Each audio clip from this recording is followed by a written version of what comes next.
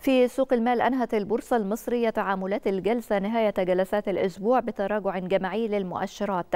وذلك بعدما ارتفعت خلال الجلسات الثلاث الماضية بضغوط مبيعات أجنبية وسط تداولات مرتفعة. وخسر رأس المال السوقي 11 مليار و200 مليون جنيه ليغلق عند مستوى 973.5 مليار جنيه. وعلى صعيد المؤشرات تراجع مؤشر EGX 30 بنسبة 1.54 من 100% ليغلق عند مستوى 15 15241 نقطة.